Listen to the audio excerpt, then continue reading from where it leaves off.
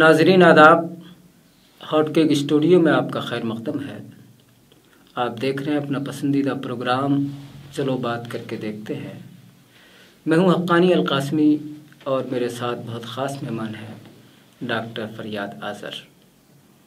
ایک اہم شاعر اور ایک عمدہ صحافی، جن کے بہت سے شعری مجموعے شائع ہو چکے ہیں۔ ان کا پہلا مجموعہ تھا خزاں میرا موسم۔ دوسرا مجموعہ قسطوں میں گزرتی زندگی۔ تیسرا مجموعہ بچوں کا مشاعرہ۔ اور چوتھا مجموعہ کچھ دن گلوبل گاؤں میں۔ پانچواں مجموعہ ایلین اس کے علاوہ ان پر کئی اہم رسائل نے گوشے بھی شائع کیے ہیں، جن میں تحریک ادب، بنارس کا یہ گوشہ۔ انتصاف سرونج کا ایک گوشہ اور بھی ہے۔ اور سے ماہی ادبی محاذ کٹک نے ایک گوشہ شائع کیا ہے۔ اس طرح دیکھا جائے تو ان کی شخصیت عصری اردو شاعری میں بہت نمایاں ہے۔ ڈاکٹر فریاد اظہر صاحب، آپ کا استقبال ہے۔ آپ ایک شاعر ہیں۔ اس لیے آپ سے سب سے پہلے میں جاننا چاہوں گا کہ آپ نے اپنی شاعری کا آغاز کس عمر میں کیا تھا۔ بچپن میں جب میں پرائمری اسکول میں تھا اس وقت ہمارے یہاں بنارس میں ایک بہت مقبول ہندی کا اخبار تھا۔ اردو کے اخبارات سے میں بھی واقف نہیں تھا کیونکہ ہمارے یہاں اتنی زیادہ اردو کا فروغ نہیں ہوا تھا۔ جی، جی، جی۔ تو ہندی کا اخبار آتا تھا ہمارے پڑوس میں۔ مجھے شوق تھا اس میں۔ تو میں روزانہ وہ اخبار پڑھتا تھا۔ اس زمانے میں اس سے بڑا کوئی اخبار یو پی کا نہیں تھا۔ اس کا نام تھا روزنامہ آج۔ تو اس میں سنڈے کو بچے بچوں کا کالم شائع ہوتا تھا جی, جی۔ بال سنسد۔ تو میں دیکھتا رہتا تھا مجھے بھی شوق ہوا کہ میں بھی اس میں چھپوں میرا بھی کلام چھپے میں شاعر وائر تو تھا نہیں پانچویں کلاس میں پڑھنے والا بچہ شاعر تو نہیں ہو سکتا۔ لیکن جب دیکھا اس میں چھوٹے چھوٹے بچے بھی ٹوٹی پھوٹی جیسے بھی لکھتے تھے اس میں چھپتی تھی۔ تو میں نے بھی کوشش کی اور میری پہلی نظم پانچویں کلاس کے ہی دور میں لاسٹ میں جب میں چھٹی میں جانے والا تھا اس وقت شائع ہوئی اور اس کا عنوان تھا ہندی میں ورشا کا موسم۔ اچھا۔ تو یہ میری تصویر کے ساتھ شائع ہوئی وہ اور یہ بچوں کی شاعری کا معاملہ تھا۔ لیکن اصل شاعری جو میری اب کی جیسے شاعری ہے اردو کی شاعری کی شروعات جو ہوئی ہے وہیں بارہویں کلاس کے آس پاس میرے اندر شوق پیدا ہوا۔ اور کیسے پیدا ہوا کہ میرے بھائی صاحب کہیں نہ کہیں باہر سے جاتے تھے۔ باہر سے ہندی میں، وہ بھی اردو سے واقف نہیں تھے۔ ہندی میں، اردو شاعری کی کتابیں لاتے تھے وہ۔ تو مجھے پڑھ کے مجھے بہت دلچسپی ہوتی تھی اچھا لگتا تھا۔ اور کچھ شعر تو یاد ہو جاتے تھے جنہیں میں اپنے دوستوں میں سناتا تھا۔ اور وہ دوست مجھے شاعر کہنے لگے، تو میرے بڑے بھائی صاحب، مجھ سے خفا ہوا کہ تمہیں لوگ شاعر کہتے ہیں اور تم دوسروں کا کلام سناتے ہو۔ خود کیوں نہیں کہتے؟ تو صاحب میں نے کوشش کی۔ ظاہر شروعات ہوتی ہے غلطیاں ہوتی ہیں۔ باہر کا علم نہیں ہوتا ہم لوگ کسی کو بھی شروع میں کسی کو بھی نہیں علم ہوتا تو سنوارنے کے لیے استاد ملتے ہیں۔ تو ہمارے ایک پڑوسی تھے ساجن پردیسی جو علی گڑھ یونیورسٹی سے پڑھ کے آئے تھے اور ان کے استاد تھے علامہ ابر احسنی گنوری صاحب۔ جی، جی۔ ان کے شاگرد تھے وہ تو انہوں نے مجھے کچھ اصلاح دی ہماری شاعری پہ لیکن فوراً ہی اتفاق سے میرا انٹرمیڈیٹ کے بعد دلی آنا ہوا اور یہیں پہ میں نے نام لکھوا لیا۔ تو بی اے دلی یونیورسٹی سے کیا، اس کے بعد ایم اے کی باری آئی تو ہمارے پڑوس میں این بی ٹی کے قیصر شمیم صاحب رہا کرتے تھے، ان کے آنا جانا رہتا تھا۔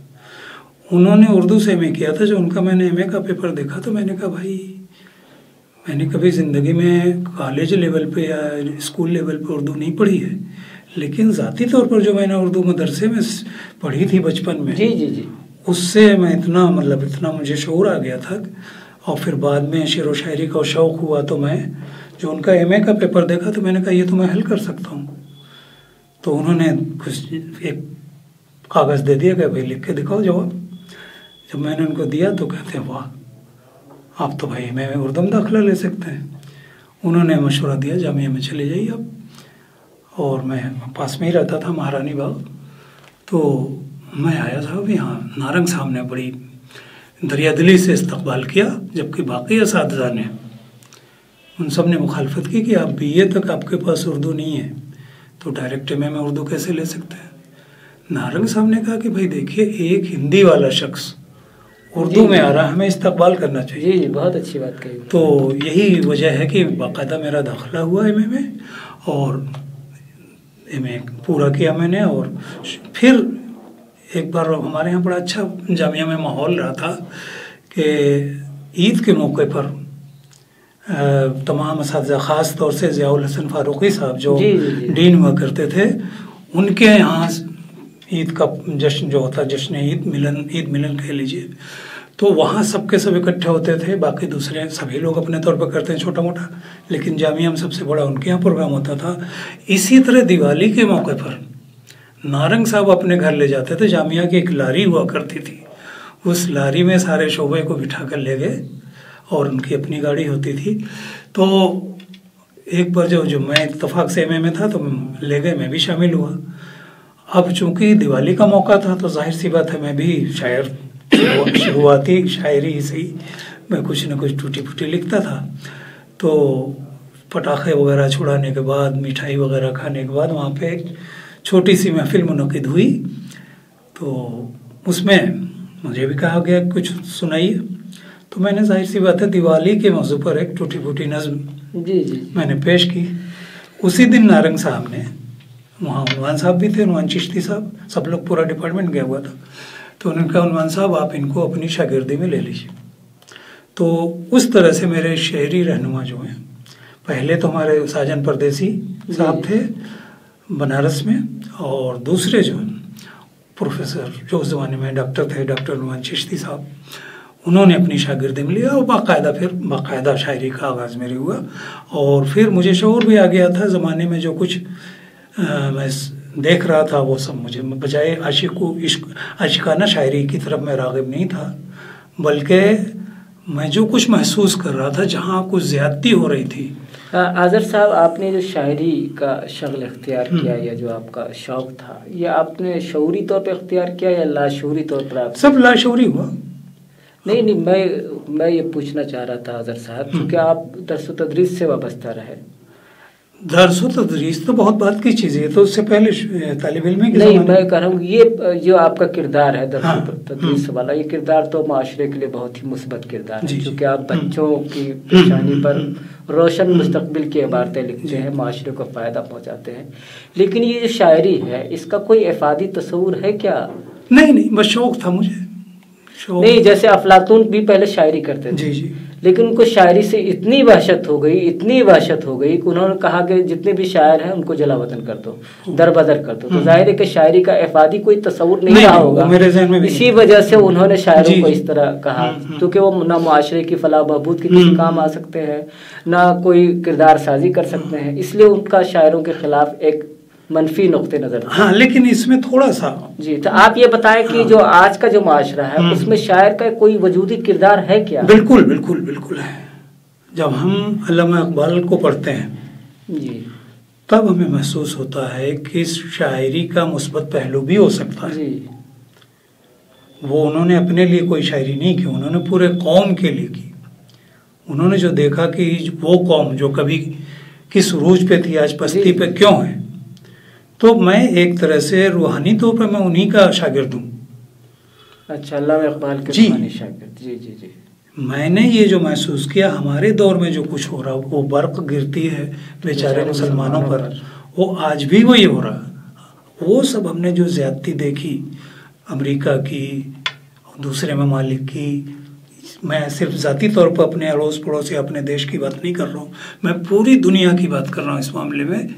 کہ وہ جو میں نے زیادتیاں دیکھی بوسنیا ہو چچنیا تو اب کی بات ہے ورنہ بوسنیا بہت پہلے وہاں پہ کس قدر وحشت ناک حملے کیے کس قدر وہاں کی خواتین کو تڑپایا گیا رلایا گیا مطلب ان کے ساتھ کیا نہیں کیا گیا۔ یہ سارا ظلم جو میں نے دیکھا تو صاحب میرا قلم جو اپنے آپ ٹھیک ہے آپ نے صحیح کہا کہ اللہ اقبال تھے اس طرح کے بہت سارے شعرا ہیں جنہوں نے تعمیری شاعری کی اور ظاہر کردار سازی میں ان کا اہم رول رہا ہے لیکن یہ بتایا کہ آخر شاعروں کو نکما ناکارہ یا معاشرے کا مفلوج معطل کردار کیوں سمجھا جاتا ہے وہ اس لیے کہ میں نے قرآن شریف میں پڑھا ہے کہ بھائی یہ شاعر وہ جو کرتے نہیں وہ کہتے ہیں اور اسی بنیاد پہ تو افلاطون نے بھی کہا تھا ہاں۔ ان کے قول اور عمل بالکل۔ تضاد ہوتا ہے اس لیے ان کو در بدر کر جی جی جلا وطن کر تو۔ اس لیے میں اس کو میں بھی سمجھتا ہوں واقعی میں نے بھی کچھ ایسے اشعار کہے ہیں جس میں لگتا ہے کہ میں بڑا بہادر ہوں اور عملی طور پر نہیں ہوں۔ تو ایسا تو ہے۔ تو اس لیے میں ایسے اشعار کو ترجیح نہیں دیتا۔ میں نے میرے نائنٹی نائن پرسینٹ اشعار جو ہیں جی جی جی۔ آپ دیکھیں گے وہ جو جہاں ظلم زیادتی ہے میں اس کے خلاف آواز اٹھاتا ہوں۔ ایک ناول ہے جس کا کردار ہے اوبلا موف۔ جی۔ وہ معاشرے کا انتہائی نکما اور ناکارہ کردار ہوتا ہے۔ تو میرے خیال سے آج کے زمانے میں بھی جتنے بھی شاعر ہیں ان کو کہا جاتا ہے کہ یہ اس ناول کے کردار اوبلا موف کی طرح ہے۔ تو آپ کو لگتا ہے کیا یہ شاعر کچھ کر رہے ہیں یا کوئی پیغام دے پا رہے ہیں یا معاشرے کی اصلاح میں ان کا کوئی رول ہے؟ نہیں رول ہے بالکل ہے لیکن میں سب کے بارے میں نہیں کہہ سکتا کیونکہ زیادہ تر شاعر اپنے لیے شاعری کرتا ہے۔ تفریح کے لیے تفریح تباہ کے لیے شعر کہتا ہے۔ کچھ لوگ نہیں مسئلہ یہی آ جاتا ہے آزر صاحب تفریح اور مقصدیت کا۔ اگر آرٹ کا مقصد صرف تفریح ہے تو اس کا مطلب وہ مقصد فوت ہو جاتا۔ ہے۔ تو آرٹ کے اندر مقصدیت اگر ہے تو ٹھیک ہے ہاں لیکن جو غزل غزل کی شاعری ہو رہی ہے اردو میں شاعری ہو رہی ہے تو اس کے اندر مقصدیت یا افادیت کہاں ہے؟ نہیں اس وہ یہاں ہے جیسے پہلے آپ نے پرانے لوگوں کو دیکھا ہوگا۔ جی جی جی۔ بلکہ غزل پہ یہی الزام لگایا جاتا ہے کہ اس میں عش- عشق و عاشقی کے علاوہ کیا ہے۔ جی جی جی۔ تو لیکن آج کی شاعری آپ دیکھیں گے تو بہت کچھ ہے۔ جی جی جی۔ عشق و عاشقی بھی لوگوں کے یہاں ہے۔ وہ اس لیے کہ بھائی جانتے ہیں کہ عوام کو یہ پسند ہے۔ جی جی یا نوجوان نئی نسل کو یہ پسند ہے۔ ورنہ ہم نے خود اپنے کلام میں میں ڈھونڈتا ہوں تو عشق عشق لفظ تو چار جگہ جی، مل جی، جائیں گے جی۔ پورے پانچ کتابوں میں جی، جی، جی۔ اور نہ کہیں نہیں ملیں جی گے جی۔ تو اس لیے ہمارے پاس تو وہ ہے جو ہم دیکھتے ہیں جو محسوس کرتے ہیں جو ظلم دیکھتے ہیں اس جی، پر جی، میں جی۔ اپنے آپ شعر ہوتا میں زبردستی نہیں کہتا کرتا۔ تو آپ نے تو غزل کو اپنا ذریعہ اظہار جی۔ بنایا ہے تو غزل کے مخالفین بہت رہے ہیں جیسے جی، جوش ملی ہاں، آبادی ہاں۔ رہے ہیں خواجہ الطاف حسین علی رہے۔ ہیں عظمت اللہ خان رہے ہیں اس کے علاوہ اور بہت سارے رضو انصاری نے بھی مخالفت کی ہے جی، جی۔ نظم تبا تبائی نے بھی مخالفت کی ہے تو یہ بتائیں کہ غزل کی مخالفت آخر کن بنیادوں پر ہوتی ہے آخر کیوں کہا جاتا ہے کہ غزل نیم وحشی صنف سخن ہے نیم وحشی خیالی ہوتی جی جی ہے نیم وحشی صنف سخن کے بارے کی بات یہ ہے کہ بھائی ایک شعر میں الگ بات کہی جا رہی ہے دوسرے شعر میں کچھ اور بات کہی جا رہی ہے تیسرے میں کچھ اور بات کہی جا رہی ہے۔ وحشت میں ان- انسان جو ہوتا ہے اسی طرح سے ہوتا ہے کہ کسی ایک موضوع پر نہیں بولتا۔ جی، وحشت جی، میں جی۔ وہ کچھ بھی بولتا رہتا بکتا جھپتا رہتا جس کو کہتے ہیں۔ تو۔ وہی غزل کے لیے انہوں نے یہی استعمال کیا ہے کہ یہ نیم وحشی ہے کیونکہ اس میں ہر شعر میں الگ بات کہی ہاں، جاتی ہے یہ کہہ سکتے ہیں کہ یہ نری قافیہ پیمائی ہوتی ہے ہاں، ہاں۔ اچھا ایک بات بتائیں عظمت اللہ خان صاحب جو تھے جی، جی۔ انہوں نے کہا تھا کہ یہ جو شاعری ہے یہ غزل ہے۔ اس کو قافیے کے استبداد سے نجات دلایا جائے میرا خیال ہے کہ اگر قافیہ نہ ہو ردیف نہ ہو ہے غزل ہو؟ سے رہی؟ تو آخر انہوں نے یہ اس طرح کی بات کیوں بھائی اپنے طور پر دیکھیے وہ عظمت اللہ خان ایک اچھے مطلب نئے مزاج کے آدمی جی، تھے وہ جی۔ پرانی چیزوں پرانی چیزیں ان کے یہاں رد ہوتی تھیں تو اس لیے انہوں نے خود ان کی کتاب جو ہے سریلے بول وہ ہم نے پڑھی واقعی نظموں کی بہترین کتاب ہے نئی نظمیں جو شروعات کی گئی تھی جی ورنہ ہمارے یہاں نظمیں بھی تھی پہلے سے لیکن نظمیں کیا تھی مرثیہ قصیدہ ربائی یا اور چیزیں۔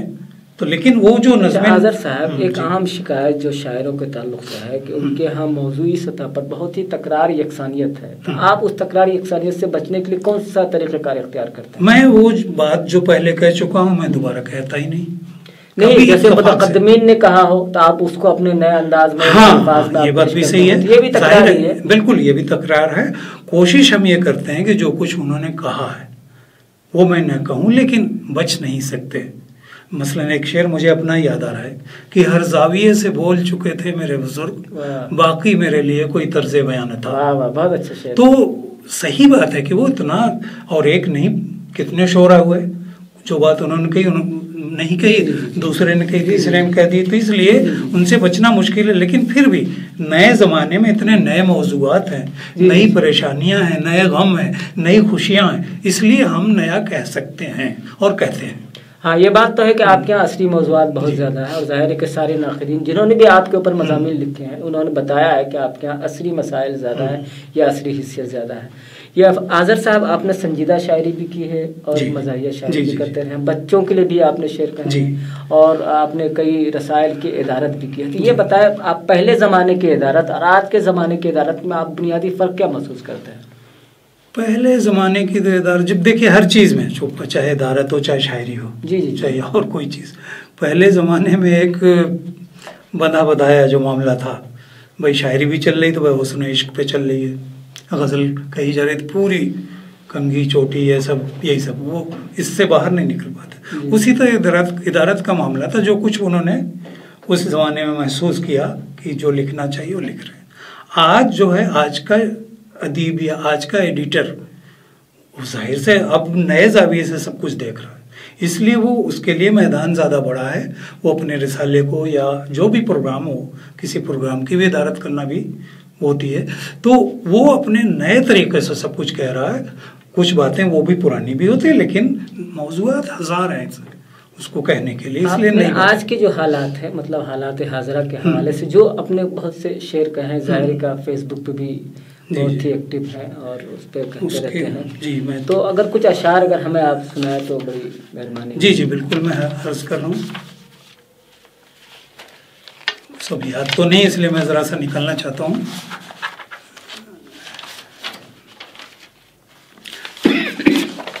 ہاں مثلا۔ سب سے پہلے تو میں اپنا تعارف پیش کرتا ہوں کہ وقت کے ٹھکرائے کو گردانتا کوئی نہیں۔ وقت کے ٹھکرائے کو گردانتا کوئی نہیں۔ جانتے ہیں سب مجھے پہچانتا کوئی نہیں۔ واہ واہ بہت اچھا وقت کے ٹھکرائے کو گردانتا کوئی نہیں۔ جانتے ہیں سب مجھے پہچانتا کوئی نہیں۔ اور جب سے میں نے گفتگو میں جھوٹ شامل کر لیا واہ واہ۔ جب سے میں نے گفتگو میں جھوٹ شامل کر لیا میری باتوں کا برا پھر مانتا کوئی نہیں جی جی جی۔ اور لوگ یوں ہی نہیں بدنام سمجھ بیٹھے ہیں۔ لوگ یوں ہی نہیں بدنام سمجھ بیٹھے ہیں۔ ہم خرافات کو اسلام سمجھ بیٹھے بہت ہیں۔ اچھا۔ لوگ یوں ہی نہیں بدنام سمجھ بیٹھے ہیں۔ ہم خرافات کو اسلام سمجھ بیٹھے ہیں۔ اور لوگ راون کے پنرجنم سے واقف ہی نہیں۔ لوگ راون کے پنرجنم سے واقف ہی نہیں۔ کتنے معصوم اسے رام سمجھ بیٹھے۔ بہت اچھا۔ اور نہ ہو گر خوف دوزخ اور نہ لالچ بھی ہو جنت کا۔ نہ ہو گر خوف دوزخ اور نہ لالچ بھی ہو جنت کا۔ بھرم کھل جائے پھر ہم جیسے لوگوں کی عبادت کا۔ بہت اچھا۔ اور تو پھر اقوام متحدہ میں بھی جمہوریت لائے۔ تو پھر اقوام متحدہ میں بھی جمہوریت لائے۔ اگر سچ مچ ہی دشمن ہے وہ ظالم آمریت کا۔ اچھا آذر صاحب آج جو آج کل کے جو ٹرینڈنگ ٹاپکس ہے اس میں سے ایک می ٹو بھی ہے۔ تو ہاں۔ آپ نے اس کے حوالے سے کوئی شعر کہا یا اسی مطلب اس طرز کا نہیں اتفاق ہے۔ ابھی میرے چونکہ یہ شاعری میں نے پہلے شاید عرض کیا ہے کہ میں زبردستی نہیں کرتا۔ وہ جو میرے ذہن کو بیدار کرتا اپنے آپ کو اور پھر میں اپ- اپنے آپ ہی میرا قلم اس پہ چلنے لگتا ہے۔ تو ابھی تک تو نہیں کہا ہو سکتا ہے ایک دو دن میں۔ جی جی نہیں آپ فی الودی شاعر ہیں آپ نہیں کہنا مشکل نہیں، ہوتا۔ ہے میرے خیال سے آپ اس طرح کے موضوعات اب وہ اب وہ۔ زمانہ گیا۔ جی جی اب میں بہت ہی سلیکٹڈ شاعری کرتا ہوں اور بتا رہا ہوں کہ بس اپنے آپ پہ میں زبردستی نہیں کرتا۔ جی، جی۔ وہ اپنے آپ ہو جاتا ہے ہو جاتا۔ اس لیے میں فی البدی شاعری کبھی ہو جاتی تھی ہوتی تھی۔ مطلب کوئی میں بہت بڑا اس طرح سے نہیں اپنے آپ کو دعویٰ کرتا کہ جب چاہوں جب کچھ کہہ دوں، تو معافی چاہتا ہوں اس سلسلے میں کہ آذر صاحب، آپ کا بہت بہت شکریہ۔ آپ نے شاعری کے حوالے سے، اپنے تخلیقی محرکات کے حوالے سے آغاز شاعری کے تعلق سے بہت ہی اہم باتیں بتائی ہیں۔ ظاہر ہے کہ آپ اس وقت اردو کے اہم شاعروں میں شمار کیے جاتے ہیں، اس لیے آپ سے گفتگو کرنا ہمیں بہت ہی اچھا لگا۔